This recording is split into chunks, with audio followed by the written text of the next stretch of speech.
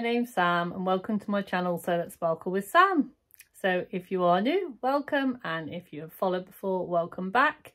Today, this is my Friday Sews, hashtag Friday Sews video brought to us by the lovely Jen from Today in Jen's Sewing Room. And I'm just going to talk a little bit about my sewing life this week, what I've been up to, make some plans and yeah, a bit of my plans for next week. So if that sounds like something you would be interested in, then don't forget to give me a like and um, subscribe if you are into that, because that would really make my day. So a couple of thank yous. Thank you, thank you, thank you for those of you that have commented on my videos um, last week. And well, thank you to anyone that's commented on any of my videos. In fact, I've had quite a few belated comments this week. Um, I do try and reply to everyone. Um, I always get there in the end. I'm not quite up to date yet, but um, I do do my best. And if I do miss you for any reason, don't forget, you know, feel free to message me again and give me a little prompt um, if I don't get back to you. It's because I may have lost the message. Um, I haven't forgotten. I may have just read it and then lost the message. So so what have I been up to this week? So last Friday I left your Friday Sews with, oh, a big haul, all of my birthday goodies and things, which was great. And I've actually made quite a lot of progress on some of those. So I got two bag kits and I've cut them both out. I plan to sew them, hopefully sew them both tomorrow or Monday. Today is Saturday, by the way. I know it's Friday Sews, but it's Saturday today. So normally I would have um, a Thursday off and work on Friday. Um, this week I was working Thursday and Friday, so I just didn't have time to do a Friday sews on the Friday. So it's Saturday morning. Um, I've been up this morning doing a few bits and pieces and and yeah and I thought I'd do you a quick video so you get one out this week. So this week I've been kept quite busy because I've been thinking a lot about my vlogs and I've been thinking about a lot about my makes and plans for the rest of the year and I just was thinking a lot about the makes and plans that I had. I wanted them to be significant. I wanted them to mean something um, and I didn't want to get into the habit of making things for the sake of making things. And when I say that is, I sometimes get lost in a, oh, that's pretty kind of scenario. I'm sure you all totally understand. I'll look at a pattern, I think, oh, that's pretty. And then I think, oh, I've got some fabric for that. Oh, I could make that. I have the skills to make that. And then I make it without doing the, would I wear it? Is it going to be useful in my wardrobe? Questions. So I thought this week, and I've been doing going on Instagram, I'll um, put my Instagram link in down below so you can go and have a look. So I've done seven days of me maids. Now I know that there are lots of things that you can do Me Made May um, where you can do it kind of officially to kind of assess your wardrobe whereas I just thought you know, this week is a good week to do it. I had a lot of mixture of going out and work and life and home. So I knew that I would have to wear different things for different occasions and different days. And I just wanted to see what it was in my wardrobe that I reached for. I hope that makes sense. I hope I'm not being too indulgent.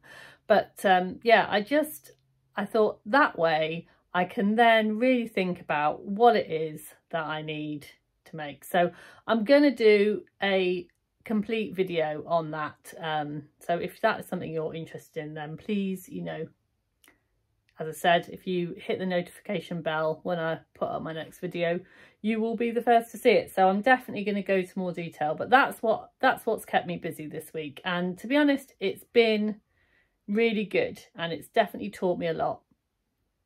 Um, what else have I been up to this week?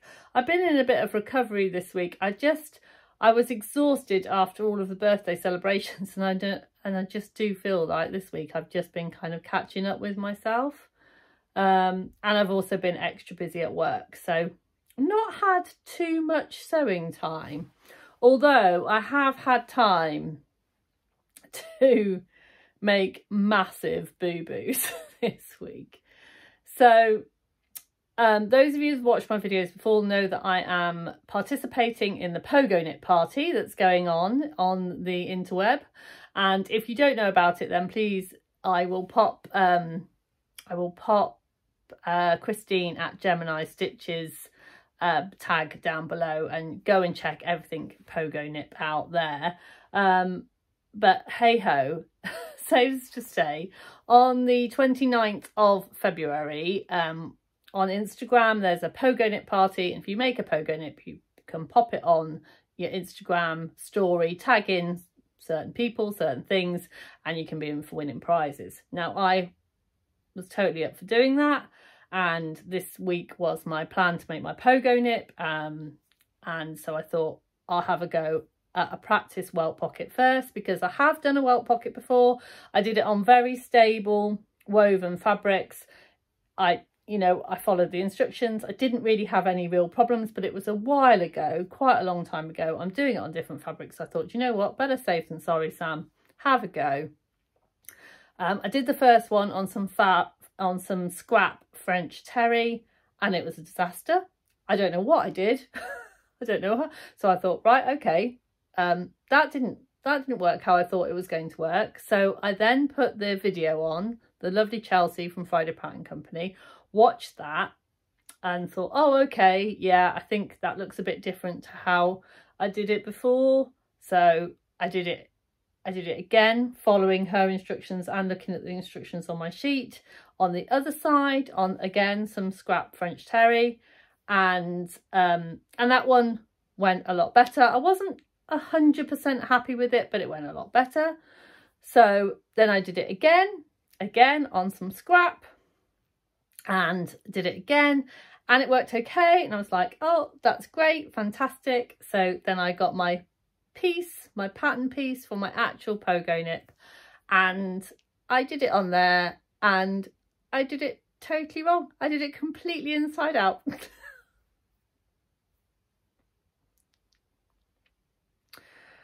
So so that went out the window. I, I I prom I actually did have a silent cry. so, and that was my actual pattern piece. So I was like, okay, don't worry about it. Let's see what we've got here. And unfortunately, I'd cut, I'd used all of the spare fabric because I'd used the fabric to make the linings as well. No, I didn't need to. And actually, in hindsight, I shouldn't have done. If I'd have used the a different fabric for the lining, I would have had plenty. So what I have done is I have I have ordered an extra metre of the fabric from Pound Fabrics and I will have a go again. so now I'm thinking, I don't know whether to start on the other, because I've got two lots of fabric. I don't know whether to start on the other Pogonip but I'm reluctant to until I've kind of nailed this welt pocket scenario because yeah. So I think I'm going to be quite tight on time for that one. And it just goes to show, you know, sewing, it doesn't, it doesn't always go as it looks on Instagram. It doesn't, it, that's not how it all, you know, sometimes things go wrong. And it's okay. But yeah, I've definitely learned from my mistake though. I will, yeah, I will definitely make sure. And the, the I'm kicking, completely kicking myself because actually I only needed to keep a very small panel in case that's happened because obviously the welt parts are very, very small. It was just that panel. and I have no idea. And I can't even tell you how I managed to get it the wrong way round as well because I was carefully following everything along. I must have just had a little bit of brain fog or something going on, but yeah. Hey ho. So that was fun. Oh, I got so cross with it. So cross. I'd done one side fine as well. That Oh, that was the other thing. I'd done one okay and then the other, yeah, the other one wrong way around. So completely useless. Anywho, that's, that's enough talk about that. So we're just not going to think about that for now. Um, I've ordered the fabric. Hopefully it shouldn't take too long to get here. And then obviously I need to wash it and yeah. So I may have a Pogonip to show on the 29th of February or I may not. so yeah. But I have got some other makes that I need to make. I've still got my Tilly and the Button Stella joggers that I need to finish. And obviously I've cut out, I've cut out my two kits. My First for Fabrics Crescent Tote kit I've cut out and ready to sew. And also the sewing box kit. Although I have actually sent an email to the sewing box to the circle bag because I think that there may be something missing from my kit. I'm not 100% sure, but I've read through the instructions and I think there may be something missing from my kit. So I've um I've sent them a little email and we'll see. I'll let you know how I get on with that. So yeah, so I've got plenty of things to keep me busy. I was it was just one of those moments. But you know, we all have them. We all have them. And I think my main problem was, was because I'd done the welt pocket before and everything went fine, I was like, well, it's fine. Um, but because it was slightly different and it was different fabric, I didn't, I didn't give it enough thought that I needed to.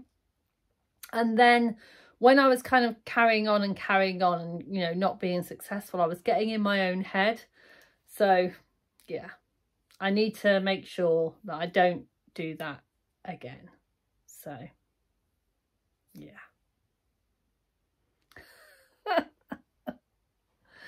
uh, so yeah, so that's that's basically been my main sewing disaster this week. Bit of a yeah, bit of a fail, but onwards and upwards. So my plans for this week. So this afternoon I'm going to go and get my nails done because yeah. not good. Um, so I'm going to go and get my nails done and I'm also going to get my eyebrows done at the same time because my eyebrows are definitely disappearing, which they tend to do. Being of fair complexion, my eyebrows do sometimes just disappear. So I'm off to do that this afternoon. Um, and then tomorrow, as I said, tomorrow and Monday are my main kind of sewing days. So I've got everything cut out ready to go for that um, and then then working so yeah those those are my main plans I have actually set myself up this week with a lovely little sofa sewing project because I have got really into a television series called One Day. It's on Netflix. Now, it's based on a book um, and I read the book years ago and absolutely loved it. Um, and I watched the film, they brought a film out and I found the film a bit disappointing, to be honest. So I really, really love the book, found the film a bit disappointed, but they've got a TV series, One Day. The book's by David Nicholls. And is it David Nicholls? Yeah. That might be wrong. If I'm wrong, I'll put it down the bottom. I'm rubbish with names.